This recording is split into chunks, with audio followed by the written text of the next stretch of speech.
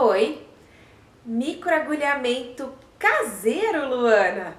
Tenho até medo de ensinar porque o resultado é tão bom que vocês vão querer fazer todos os dias e não pode. Tira as manchas, deixa a pele mais firme, suaviza as rugas e de quebra ainda diminui os poros dilatados. Como eu já sei que muita gente vai duvidar, eu desafio você a realizar os procedimentos que eu vou demonstrar por um mês. Tire uma foto do antes e depois e me envie no direct do Instagram ou pelo e-mail contato arroba Oficial. O melhor antes e depois vai ganhar um kit surpresa maravilhoso que você vai amar. Eu sou Luana Coelho e nesse vídeo eu vou demonstrar um procedimento, um passo a passo muito fácil que vai te ajudar a diminuir o tamanho dos poros dilatados, a clarear as manchas da face, uniformizando o tom da pele, a estimular a produção de colágeno, combatendo a flacidez do rosto e ainda suavizar as rugas. Se você estiver gostando do vídeo, deixe um like, se inscreva no canal e me siga também no Instagram, arroba Luana Coelho Oficial. O microagulhamento é um procedimento estético que utiliza um rolo de agulhas muito finas para perfurar a pele com o objetivo de estimular a produção de fibras de colágeno e de ativar a circulação local, suavizando as rugas e deixando a pele mais firme. Além disso, ao se recuperar dessas microperfurações, a pele tem as manchas amenizadas e o tamanho dos poros diminuídos. Eu não recomendo que esse aparelho seja utilizado em casa de jeito nenhum. Se você tiver interesse em realizar o tratamento de microagulhamento, procure um profissional da área da saúde habilitado para aplicação dessa técnica, porque é um procedimento sério que pode causar infecção, queimadura, alergia e pode manchar ainda mais sua pele. Claro, que o microagulhamento apresenta resultados mais eficientes e mais rápidos, cerca de três sessões.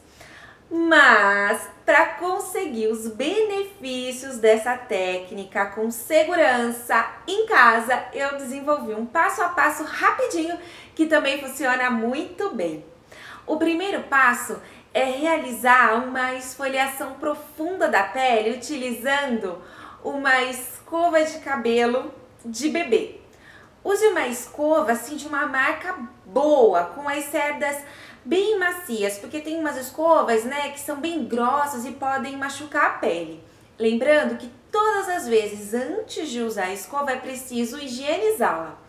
Aplique uma loção de limpeza facial ou um sabonete de glicerina na pele. Molhe a sua escova e realize movimentos circulares em todo o rosto. Trabalhe bem toda a pele, passando pelo bigode chinês, pelas manchas. Trabalhe o nariz, a região da papada, os pés de galinha, as rugas da testa e as rugas ao redor dos lábios. Realize movimentos suaves com uma pressão moderada. Ah, Luana, posso utilizar uma bucha? Nesse caso, não, porque a bucha não consegue entrar no poro. A cerda da escova entra no poro, limpa ele e provoca a agressão que a gente precisa para que a pele se regenere, além de promover o estímulo necessário para a produção de colágeno. Claro que esse processo vai acontecer aos poucos, lentamente, conforme você for realizando o tratamento. Em seguida, remova toda a espuma com água e enxugue com papel toalha. Porque a toalha de rosto muitas vezes fica lá pendurada há muito tempo com micro-organismos, impurezas que podem contaminar a pele. Até mesmo porque nós acabamos de remover as células mortas e a proteção dela, que é o manto hidrolipídico. Para quem tem quadro de acne, utilizar o papel toalha para secar a face é uma boa dica para prevenir possíveis contaminações. O próximo passo é aplicar com algodão um tônico facial ou uma água micelar para reequilibrar o pH da pele, né? Se você não tiver esses produtos aí na sua casa, você pode substituir pelo soro fisiológico. E o último passo é aplicar um creme hidratante facial. Após a realização desses procedimentos, você não pode se expor ao sol. Por isso, o ideal é que eles sejam realizados à noite. No dia seguinte, mantenha os seus cuidados diários e tente incluir o uso da babosa em forma de máscara ou de picolé de babosa, conforme eu já apresentei aqui no canal. Dá uma olhadinha. E enquanto você estiver realizando esse passo a passo, suspenda o uso de ácidos, evite o uso de maquiagem e utilize protetor solar. Faça duas vezes por semana nas duas primeiras semanas e depois desse período faça uma vez por semana. Após três meses de tratamento, passe a fazer apenas uma vez a cada 15 dias e, por último, uma vez por mês para manutenção dos resultados. Logo nas primeiras sessões, você já perceberá a diminuição no tamanho dos poros dilatados, a diminuição das manchas, a pele fica bem mais uniforme e também a diminuição das linhas mais finas. Repare no seu rosto no dia seguinte do tratamento, de preferência ao acordar. Esse é o momento em que você mais vai perceber a diferença. Depois de três meses realizando os procedimentos semanalmente, você perceberá a pele muito mais firme e as rugas profundas muito mais suaves. Agora, imagina se você associar o microagulhamento caseiro à automassagem rejuvenescedora que harmoniza a face que eu já ensinei aqui no canal. Aí ninguém te segura.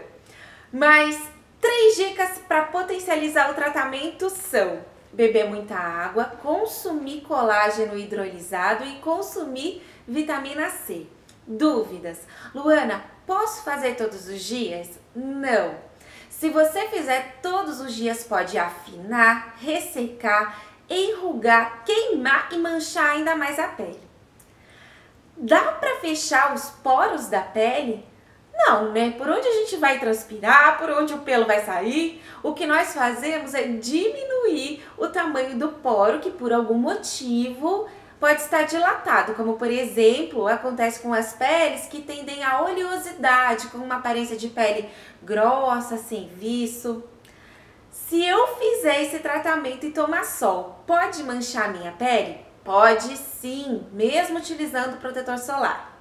Espero que vocês tenham gostado das dicas, mandem ver no tratamento e não se esqueçam de me enviar o antes e depois. Muito obrigada, um super beijo e até o próximo vídeo!